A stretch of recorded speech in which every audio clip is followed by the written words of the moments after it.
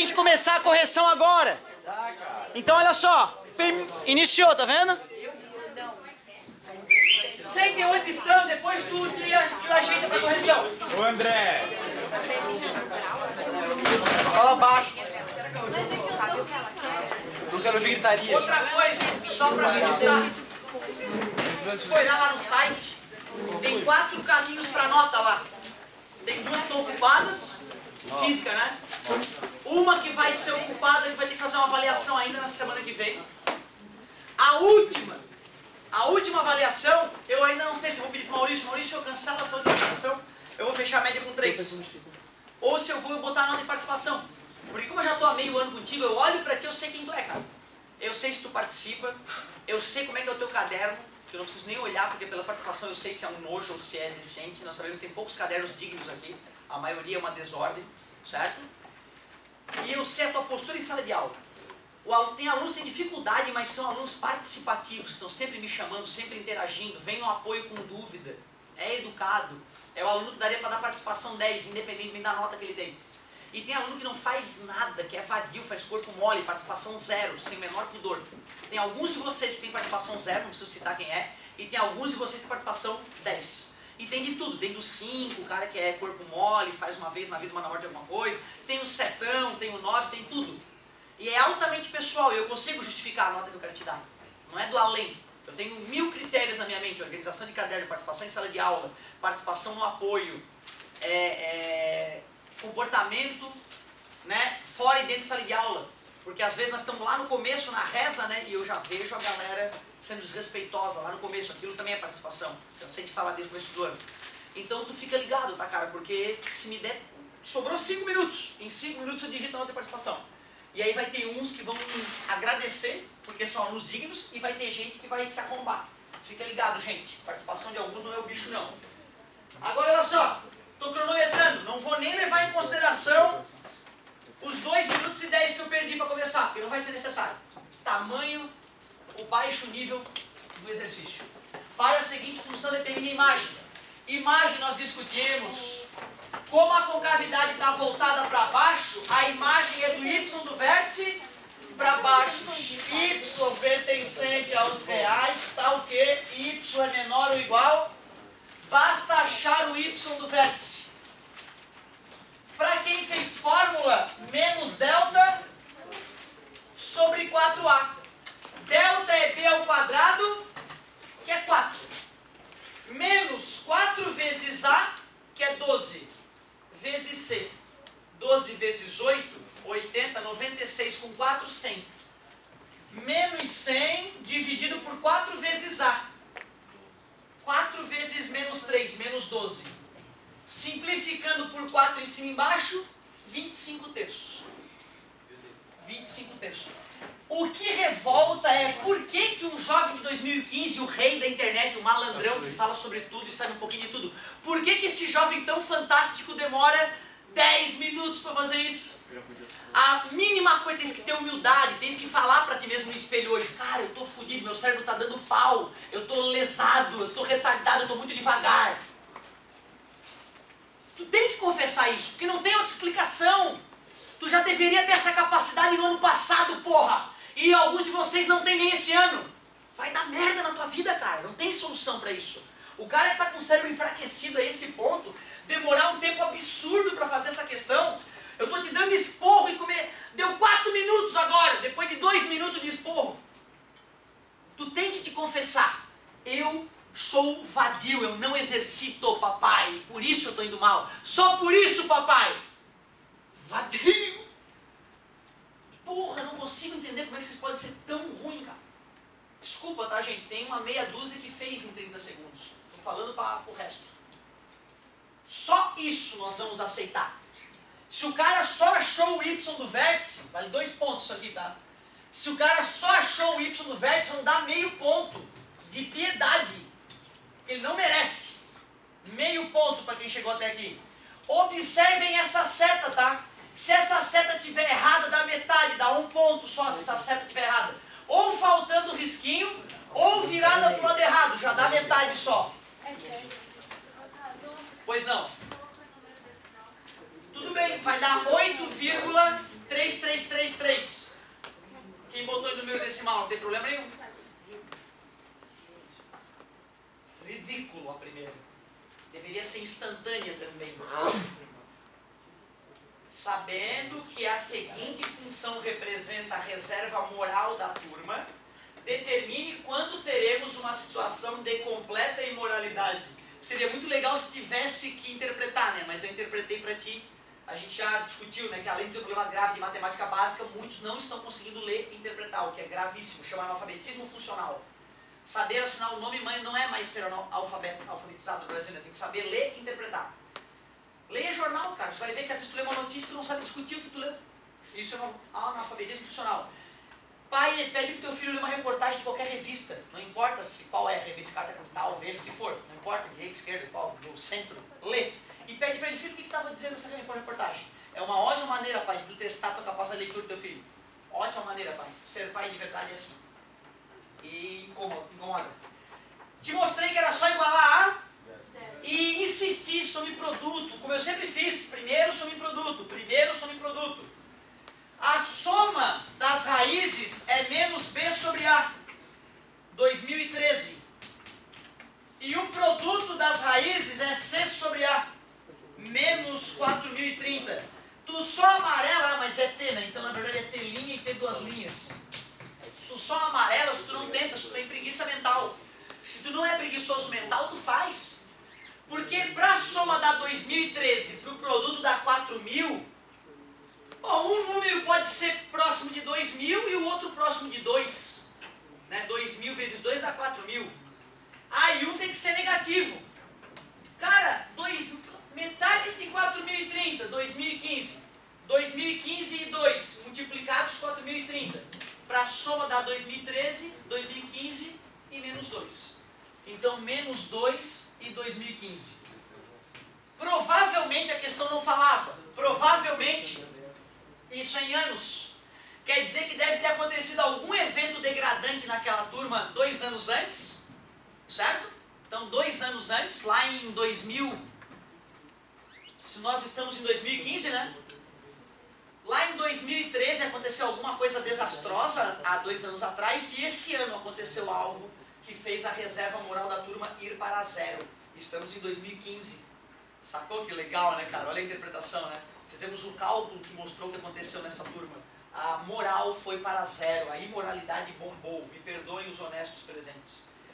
Os poucos honestos presentes, né? Aí, vou aceitar. O aluno que fez comentários sobre isso, fantástico, eu vou dar estrelinha. Mas eu vou aceitar quem chegou nessas raízes bem bobinhas um ponto para cada raiz. Sinal errado, errou. Se botou 2 em 2015, errou essa, dá só um ponto. Beleza, bem fácil de corrigir também. Instantânea, né? Instantânea. A função quadrática L de N é igual, tu viu aqui, incoerente que eu fui, se ali é N, aqui deveria ser N, né? Ou ali ser X. Sorte que não altera nada das respostas representa o lucro de uma empresa em milhões de reais, em função das unidades vendidas em milhares, em milhares de unidades. Determine o número de unidades vendidas para obter lucro máximo. Eu falava em alto e bom tom para todos, é só calcular o x do vértice. Uma pena tu ter lido e não ter conseguido interpretar pela milésima vez, né? Sendo que eu tinha te contado já antes da, da avaliação que era essa a interpretação x do vértice, como é que é? É menos b sobre 2a. Menos b menos 300 dividido por 2 vezes menos 2, que é menos 4. Menos 300 dividido por menos 4, 150 por 2, 75. Ah, mas 75 mil, né? 75 mil, né? Certo? Eu não quero, eu não quero que tu pense assim, pô, esse cara é um filho da. Ele, ele que me fez errar. Não, não, tem, tem que assumir, tem que ter consciência que é tu, não sou eu. Então quem só escreveu 75, eu vou dar 0,8. Tá bem pago pra caramba. Só vou dar um ponto para quem escreveu 75 mil, porque o enunciado estava claro, milhares de unidades. Vai perder dois décimos por não ler por bitolar, por não usar a preciosa máquina envolvida pela caixa craniana chamada cérebro. 75 mil unidades. O lucro máximo, eu posso pegar os 75 e jogar ali, né? Concorda comigo? Ou eu posso fazer menos delta sobre 4A, onde delta é B ao quadrado, vamos tentar? B ao quadrado, 300 vezes 300, 90 mil, B ao quadrado, menos 4 vezes A, vai dar 8. E 8 vezes C, 8 mil, somando dá 98 mil, dividido por, isso é o menos delta, né? Ou é o delta? É o delta, né, gente? Menos delta sobre 4A. 4A é menos 8, não é isso? Só dividir, né? Metade de 98, 49. Metade de 49,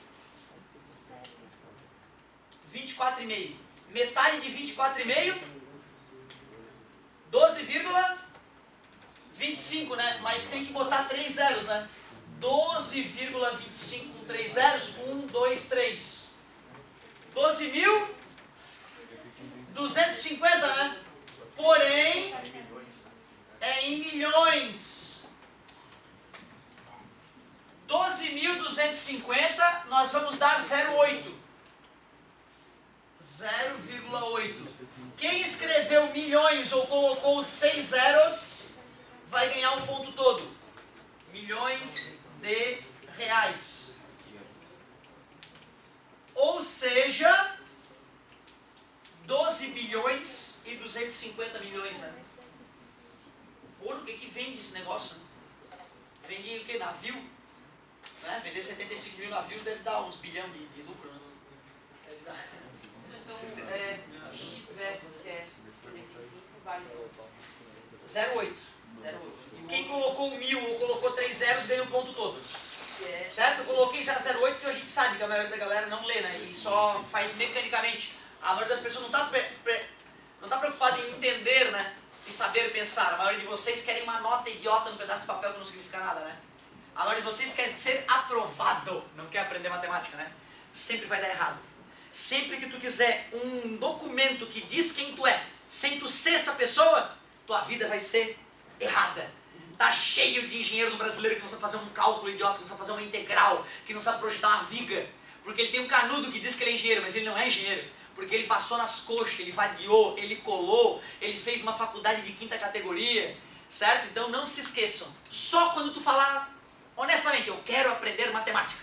Aí tu tem uma chance de começar a aprender. Enquanto ires no jeitinho brasileiro, significa porcaria nenhuma. Então não se esqueça, jamais vou deixar de te lembrar dos nossos graves problemas morais. E a mácula fica, né? Te contei do meu primo do João. Te contei algumas vezes já, né? Eu te falei da cagada que ele fez quando ele estava. Ah, ele era gurizinho, cara. Ele acho que estava na tua idade. Estava estudando lá em Laguna. O guri sempre foi mais inteligente, cara, e mais forte. Sempre apanhei daquele guri. Sempre me enrolava. Dava para perceber, ele era mais sagaz, o cérebro dele era melhor. Só que ele usava pro lado negro da força, na maioria dos casos. Sempre foi sacana. Aí, e o aluno que ele é imaturo né, e forte, imagina, ele usa a força e a inteligência dele pro mal, né? Ele sentava no fundão e começou a se bater assim com a carteira no fundo. Aí foi abrindo um buraquinho na, na parede. Aí ele resolveu pegar alguma coisa e começar a cutucar aquele buraquinho. E foi um trabalho tão bem feito que depois de algum tempo abriu um furo para outra sala, na sala vizinha. Como tu começar a cavalcar aqui e de repente estourar a parede. Só que esse furo saiu na sala, no, no meio do quadro da outra sala. Então o senhor estava dando aula um dia e de repente um dedinho assim aparece no meio do quadro. Aí ele disse, um dedinho. O que você fazendo aí, porra? Destruísse meu quadro, cara. Pai do João, né, um sujeito delicado de 1,98m. Teve que sair de Jaraguá do Sul e ir para Laguna levar massa corrida para consertar a cagada do filho. O João devia ter o quê? Uns 15, 16 anos, meu primo, meu irmão. Ele, depois de muitos tropeços, endireitou. Hoje ele é um trabalhador honesto, sério, de férias, inclusive, agora, fazendo não sei que trilha. Ele adora fazer trilha de carro. E tem um filhinho, o Vicente, meu, ah, meu priminho, né? Não é nem meu, não, tio é uma coisa meio velha, eu sou meu priminho mais novo. Cara, ele é um pai de família, bicho. Vive de carro bom, sabe? O pai dele, fui visitar ele um tempo atrás. Fui lá ver o UFC em Jaraguá do Sul, né? Aí fui lá visitar o Joãozão. Fomos almoçar no domingo. Chega o tio Tunico, abre a porta. Mais de 20 anos depois do maldito furo. Sabe qual é a primeira coisa que o pai dele fala pra ele? Deu um abraço forte nele. Vou ter que levar massa corrida pra algum lugar? Cara, tu vê, o filho dele já é um pai de família, já resolveu os problemas éticos dele, entendeu? O cara é foda. Só que aquela mácula de 20 anos atrás persiste até hoje. Até hoje o pai pega no pé dele. E aquela massa corrida, vou ter que levar para algum lugar? Destruísse alguma coisa? Tá entendendo, cara? Tu vê, claro que ele leva na brincadeira, mas fica. Fica. Eu jamais vou me esquecer daquilo que aconteceu entre nós nessa semana passada. Jamais. Fica à vontade, meu amor. Esses dias assistiram essa aula na VEG, lá na empresa dele, espalharam, espalharam pra ele, tá acredita? Que vergonha que eu fiquei.